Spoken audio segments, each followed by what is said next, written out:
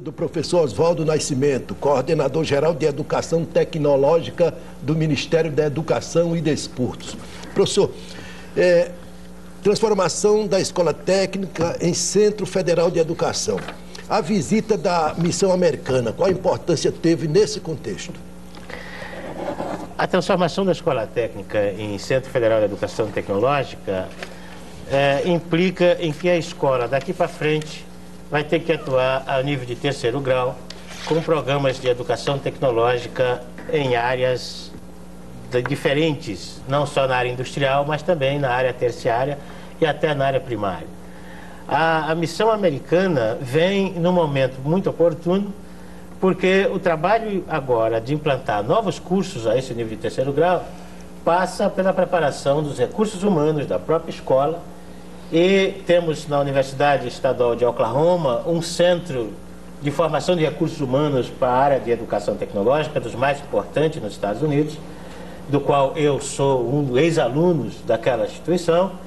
E estamos querendo, exatamente com essa visita, é, fechar alguns acordos para que possamos mandar estudantes, professores da nossa escola técnica para essa universidade possamos receber professores visitantes da Universidade de Oklahoma, aqui na Escola Técnica Federal da Paraíba, e prepararmos os recursos humanos para os cursos de terceiro grau que a escola vai ter que começar a fazer agora com a sua transformação em Centro Federal de Educação Tecnológica. E essas congêneres americanas na área do ensino tecnológico, elas, elas operam diferentemente do que pretende operar aqui a nossa centro, o nosso Centro Federal de Educação ou a gente vai operar como eles, eles funcionam? Não, eles operam diferentemente, porque os sistemas de educação tecnológica deles é diferente do nosso.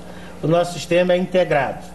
É, a transformação da escola técnica em Cefet se faz mantendo o nível técnico de segundo grau é, dentro da própria escola, adicionando a esse nível de segundo grau os cursos de formação de tecnólogos, que é o técnico nível superior, que é o technician que, que eles têm lá, e nós mantemos os cursos de engenharia industrial, que são caracteristicamente cursos de natureza tecnológica, que também não são mantidos lá. Esses cursos de, que eles chamam de Engineering Technology são mantidos a nível das universidades mas não são integrados como o nosso. O nosso, além de ter o segundo grau, o técnico superior e o engenheiro, nós estamos verticalizando esses cursos, ou seja, a verticalização significa que a continuidade dos currículos uh, acontece. Quer dizer, o técnico nível médio tem um currículo que termina quando começa o currículo do técnico nível superior.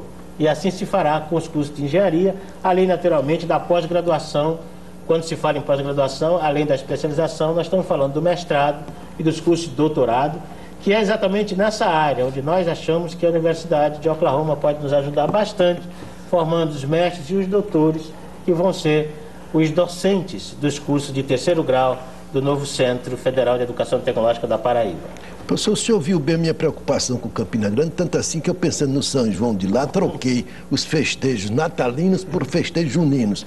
E para concretizar mais essa preocupação com a Serra, eu pergunto ao senhor, o senhor tem conhecimento de um projeto que visava a criação de uma escola técnica em Campina Grande? Tenho, professor. Tenho conhecimento desse projeto, participei dele. É, eu me lembro que nós já algumas vezes já tomamos iniciativa de transformar esse projeto. Andamos, inclusive, querendo antecipar o projeto, procuramos alguns prédios em Campina Grande que pudessem ser utilizados com pequenas reformas para servir de, de uma unidade descentralizada daqui da escola, mas, lamentavelmente, nós não conseguimos eh, esse intento. Então, o que esperamos é que, a partir agora do novo governo, a Campina Grande possa ter o seu projeto de escola técnica e esse projeto possa ser de, eh, desenvolvido dentro de uma estrutura como nós temos feito com as outras unidades descentralizadas, dentro da expansão do programa de ensino técnico. A notícia foi muito boa, professor. Eu agradeço estamos... a, a, notícia do senhor. Nós vamos fazer um intervalo para os comerciais, depois voltaremos a falar com o senhor. Pois não, com muito gosto.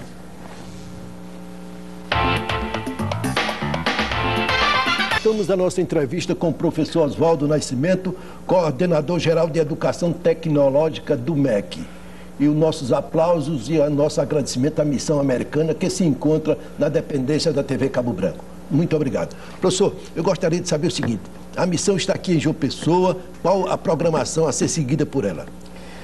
Paraná chegou no sábado. Ontem fizeram um tour pela cidade, é recepcionada pelo professor Braulio, diretor-geral da Escola Técnica Federal. Boa impressão da cidade em termos de. Excelente impressão, acho que todos estão entusiasmados. A pena é que eles não tiveram tempo suficiente para pescar, que eles gostam de pescar e, e já estão programando, quem sabe, umas férias para vir aqui a João Pessoa. Hoje vamos estar juntos na Escola Técnica Federal, trabalhando no sentido de estabelecermos alguns programas e futuros convênios. E amanhã eles estarão na Universidade Federal da Paraíba, também com igual propósito de estabelecer uma cooperação com a Universidade da Paraíba. É, creio que no final de semana que eles estarão retornando aos Estados Unidos, ao estado de Oklahoma. Professor, qual será o elemento diferenciador, ou seja, qual será a vantagem dos cursos ministrados pela, pelo Centro Federal de Educação e as demais instituições de graduação do país? Há diferenças muito, muito sutis, mas muito marcantes na questão dos cursos oferecidos. As instituições de educação tecnológica, elas vão oferecer cursos comprometidos com o mercado de trabalho, comprometido com o desenvolvimento nós não vamos ter cursos comprometidos apenas com o, o, o interesse individual, mas cursos que venham em interesses da comunidade. Então, os cursos que nascerem nos Cefetes já são cursos comprometidos com necessidades sentidas através de pesquisas no mercado de trabalho.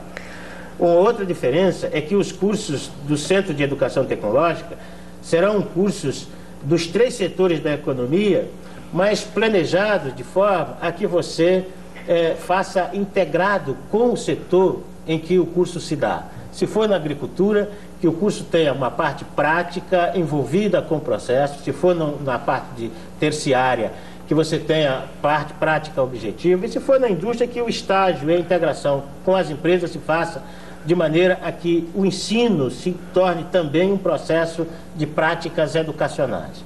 Então, a grande diferença é essa parte tecnológica, e a parte do comprometimento dos cursos com a necessidade de desenvolvimento das comunidades.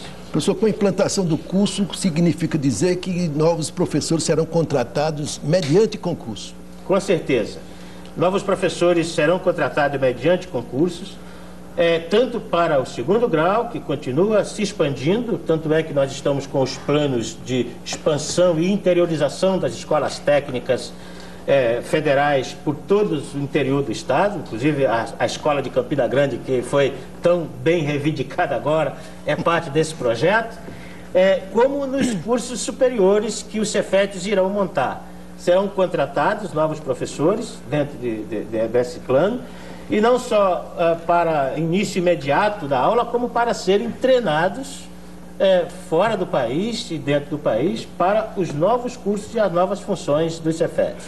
O ingresso do aluno aos cursos superiores será feito via concurso vestibular, como é comum no Brasil? Sim, será feito via concurso vestibular, com apenas uma diferença: não será o vestibular comum, é, como nós estamos tendo hoje para as universidades. Dentro do Cefet se defende uma verticalização se defende o vestibular diferenciado, ou seja, o aluno do Cefet que fizer o segundo grau técnico tem mais condição de fazer a carreira nos cursos de terceiro grau do que um aluno que não que venha do curso propedêutico. Vai ter sempre vestibular, mas são vestibulares em que se privilegiará sempre os níveis subsequentes tecnologicamente falando.